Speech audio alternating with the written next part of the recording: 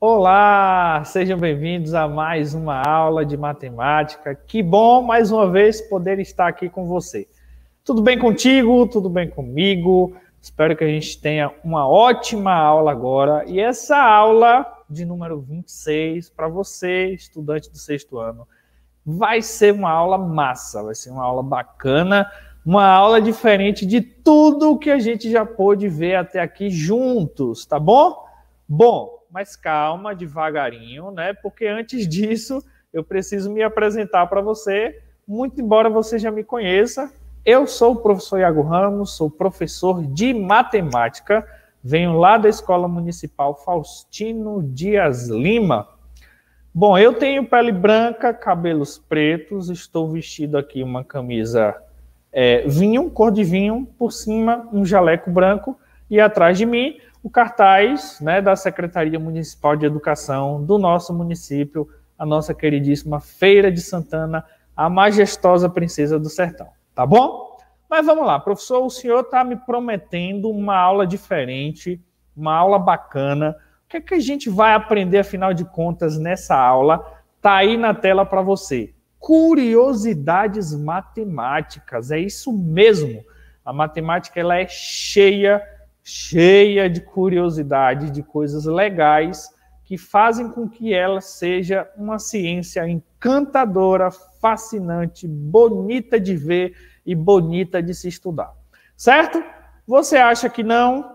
Calma, daqui a pouco a gente vai ver que sim, matemática ela é fascinante certo? E é para isso que a gente vai mudar de tela, a gente vai ali para a nossa lousa virtual, certo? Fazerem as coisas acontecer. Essa aula bacana que a gente preparou aqui para você, o nosso querido estudante, a nossa querida estudante. Então vem, vem comigo, tá? É isso aí. A tela já chegou para você. Olha só que bacana. Que tal essa frase? Que tal esse título aí?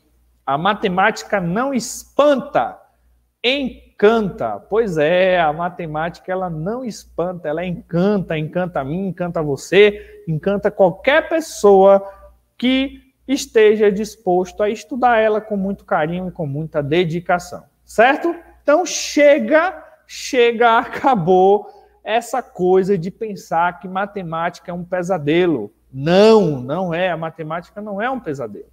Na verdade, ela pode ser muito mais encantadora do que a gente possa imaginar, certo? Bom, mas eu falo isso, fica parecendo que é conversa fiada, né? fica parecendo, não, isso não é verdade. Mas então vem aqui comigo que você vai ver. E eu já quero trazer uma curiosidadezinha para você, começando por uma tabuada, né? Aquela, aquela tabuadinha, aquelas continhas de vezes que a gente faz, né? Tem a tabuada do 2, do 3, do 4, do 5, do 6, do 7, do 8, do 9, né? E dá para continuar aí a tabuada com 10, com 11 e assim vai, certo? Mas, olha só, eu trago para você aí na tela a tabuada do número 9, né? As multiplicações com o número 9 a partir do 1 até o 10. O que é que tem de curioso nessa tabuada do 9? E aí agora eu quero e eu preciso que você aí do outro lado olhe com carinho os resultados dessa tabuada do 9 e tente perceber coisas curiosas que acontecem ali. Tem duas coisas curiosas. Uma você até deve conhecer, porque já foi bastante divulgada bastante circulada essa curiosidade sobre a tabuada do 9. A outra talvez não, né? Então dá só uma olhadinha nesses resultados. 9 vezes 1, 9. 9 vezes 2, 18. 9 vezes 3, 27. 9 vezes 4, 36. 9 vezes 5, 45. 9 vezes 6, 54. 9 vezes 7, 63. 9 vezes 8, 72. 9 vezes 9, 81. 9 vezes 10, 90. Né? 90. É o ventilador quebrado. O que é que o ventilador quebrado faz? O ventilador quebrado não venta. 90. Bom, O que é que tem de curioso aqui? Eu já vou apresentar esse que eu acho que você conhece, né? Qual é esse? Esse daqui é bastante divulgado, inclusive na internet. Para a gente encontrar os resultados da tabuada de 9, a gente faz assim. No 9 vezes 1, a gente escreve o 9, e no 9 vezes 10, a gente escreve o 9. A partir daí, a gente vai colocar, é, a gente vai escrever de 1 até 8. 1, 2, 3, 4, 5, 6, 7, 8. E voltando, a gente vai fazer a mesma coisa. Vai colocar 1, 2, 3, 4, 5, 6, 7, 8. E aí a gente acha os resultados da tabuada de 9. Bacana isso, não é curioso isso? Esse daqui como eu disse, talvez você conheça, porque isso foi bastante divulgado, isso foi bastante né, falado. Muitas pessoas mostram esse jeito de encontrar os resultados da tabuada de 9. Mas tem outra, outra curiosidadezinha nessa tabuada de 9 que eu quero que você perceba, tá? Então, por exemplo, olha só, 18. 18 é um número formado pelos algarismos 1 e 8. 27, formado pelos algarismos 2 e 7. 36, formados pelos algarismos 3 e 6. 45, formado pelos algarismos 4 e 5. 54, formado pelos algarismos 5 e 4. 63, 6 e 3. 60, 72, 7 e 2 81 81 90 90. O que é que tem de curioso aqui? O que é que tem de curioso aqui? Olha só, eu vou escrever na tela e você vai tentar achar o que é que tem de curioso, tá? Eu vou escrever aqui na tela, olha só. E você vai tentar achar o que é que tem de curioso aqui. Tá, até aqui tá bom. Olha só, se eu pegar o 18 e colocar um mais entre o número 1 e o 8. O 27, colocar um mais entre o 2 e o 7. O 36, um mais entre o 3 e o 6. E se eu fizer isso aqui em todos, olha só. Em todos. Se eu fizer isso aqui em todos. Tá? O que é que você consegue perceber? Quanto é que dá 1 mais 8? Quanto é que dá 2 mais 7? Quanto é que dá 3 mais 6? 4 mais 5. Aqui no outro, 5 mais 4. 6 mais 3. 7 mais 2. 8 mais 1 e 9 mais 0. Isso sempre dá 9, galera. Isso sempre dá 9. Se você pegar os algarismos dos resultados da tabuada de 9 e fizer uma soma, como eu fiz ali na tela, dá sempre 9, certo? É só você fazer aí, ó, fazer a soma dos algarismos como eu fiz aqui. Que massa isso, né? Que curioso isso. Por que que dá sempre 9, né? Cara, isso é muito curioso, isso é bacana é por isso que eu digo e repito que a matemática não espanta, a matemática encanta. Tem muita coisa legal na matemática assim, certo? Então, a gente tem aí essas duas curiosidadezinhas na tabuada de 9, que faz a gente perceber que a matemática é uma coisa bacana, certo? Mas não parou por aqui não. Olha só, vamos mais um pouquinho de tabuada. O que é que tem agora de curioso na tabuada do 2? Tá? que é que tem de curioso ali na tabuada do 2? Eu vou fazer assim, ó, nesses resultados aqui, do 2, do 4, do 6 e do 8. Eu vou escrever com o zero na frente, porque escrever com o zero na frente continua sendo o próprio 2, continua sendo o 4, continua sendo o 6 e continua sendo o 8. Não muda. Pronto. Uma dica. Faça do jeito que eu fiz na tabuada do 9. Pegue os algarismos do resultado e faça uma soma. Olha só. Coloca aqui um mais. e ver o que é que acontece. Olha só que bacana.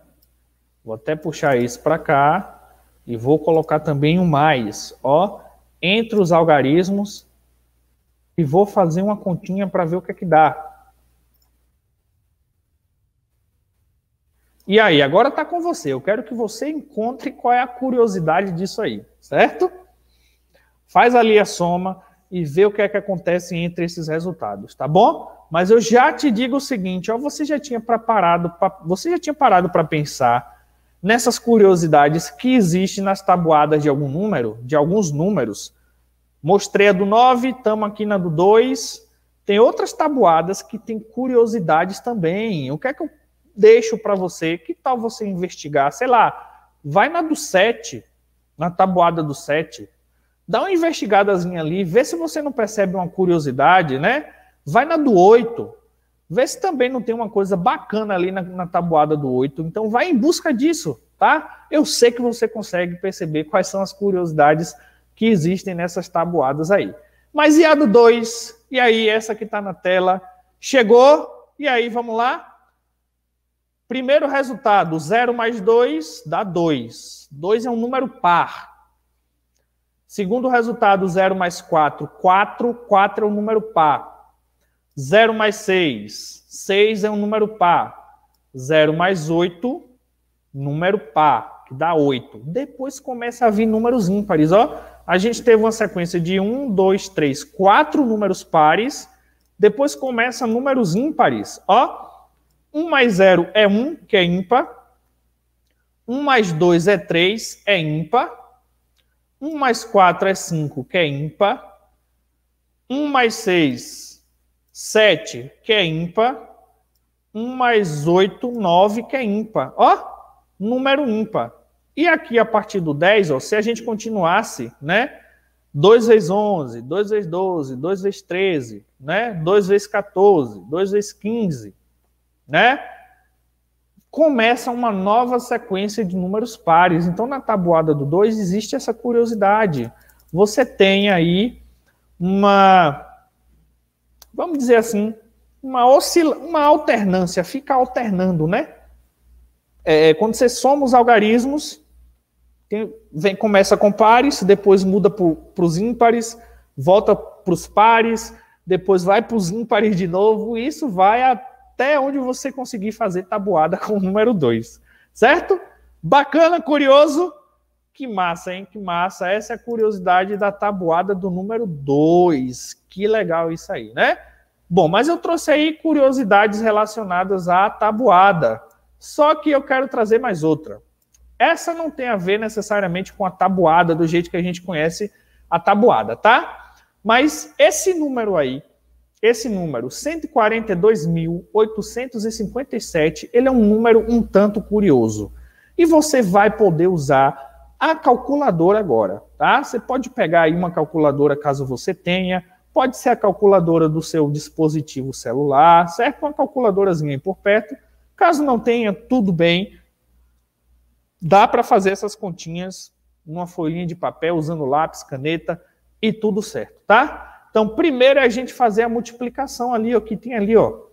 Multiplicar 142.857 por 2, depois por 3, depois por 4, depois por 5 e depois por 6. Depois que a gente fizer essas multiplicações, tem a pergunta: o que é que tem de curioso nesses resultados?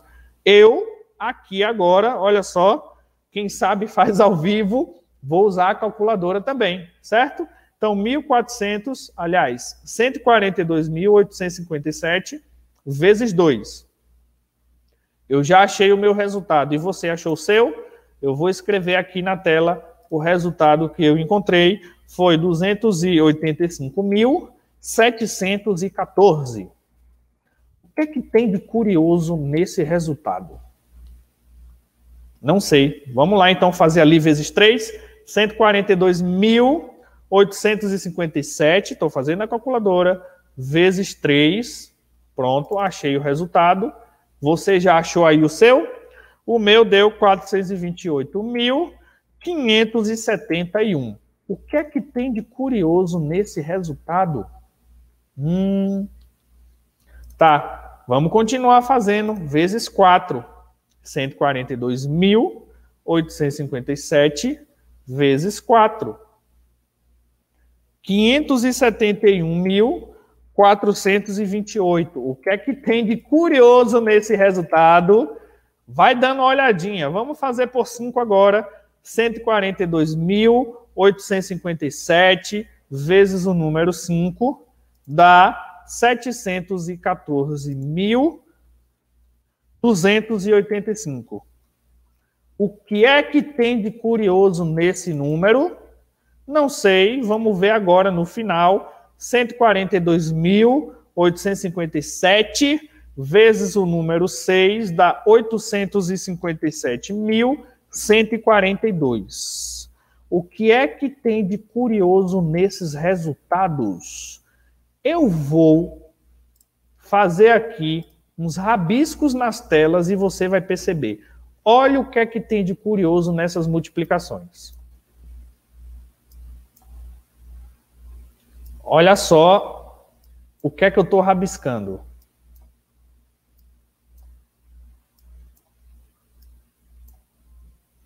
Já conseguiu perceber o que é que tem de curioso nesses resultados? Olha só. Vou ali na multiplicação por 3. Ó. Que bacana isso. Olha só. Ah, professor, já estou conseguindo entender onde é que o senhor está querendo chegar. E é, eu tenho certeza que sim, que você já matou aqui a charada. Veja que os resultados dessas multiplicações do número 2, 3, 4, 5 e 6 pelo número 142.857, os resultados têm os mesmos algarismos, os mesmos. Olha só, aqui na do 5, o resultado tem o algarismo 1, tem o algarismo 4, tem o algarismo 2, tem o algarismo 8, tem o algarismo 5 e tem o algarismo 7. Tá? Então, quando você multiplica 142.857 por 2, por 3, por 4, por 5 e por 6, nos resultados aparecem os mesmos algarismos que formam o número 142.857. O algarismo 1, o 2, o 4, o 5, o 7 e o 8. Olha só que bacana. Só que se você começar a multiplicar esse número aqui, o 142.857 por 7, aí a coisa já começa a mudar, tá bom? Que massa, né? Curioso isso. Cara, como é que como é que isso acontece? Como é que isso pode acontecer? É curioso, né? É curioso e acaba sendo também bonito de se ver e melhor ainda, né? Fascinante, encantador de poder fazer isso aqui. Mas agora, a última curiosidade que eu tenho para trazer para você é essa daqui. Você já ouviu falar no número Capicua? Pois é, você sabe o que é um número Capicua? Se liga aí, ó. Olha só os exemplos que eu trago para você. Esses números aqui são números Capicua. O 22, o 171, o 2552, o 82.328. Esses números são exemplos de número Capicua. O que é que tem de curiosos nesses números? Por exemplo, 22. O que é que tem de curioso no número 22? O que é que tem de curioso no número 171? 2.552.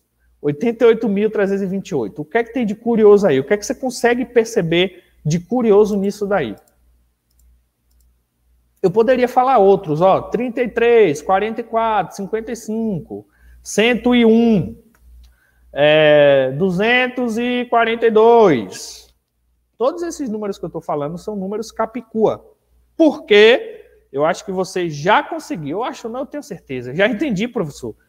De frente para trás e de trás para frente, esses números dá o mesmo. Ó, 22, se você olhar da esquerda para a direita, 22 se você olhar da direita para a esquerda. 171 da esquerda para a direita, se você olhar da direita para a esquerda, 171. 2.552. Da esquerda para a direita, 2.552. Da direita para a esquerda, dá o mesmo número, tá? Então, isso é um número capicua. Quando você lê ele de frente para trás ou de trás para frente, o resultado é o mesmo número. Mas existe uma maneira de encontrar outros números capicuas. Então, por exemplo, eu vou encontrar ali outros números capicuas a partir do 84, que não é capicua, e do 132, que também não é capicua. Você faz assim para encontrar, ó. Inverte os algarismos do 84. Você bota o 4 na frente e o 8 atrás. Vira um 48. E faz uma soma de 84 com 48. Tá? Vamos usar uma calculadorazinha. Olha só, para a gente ser mais rápido. 84 mais 48. O resultado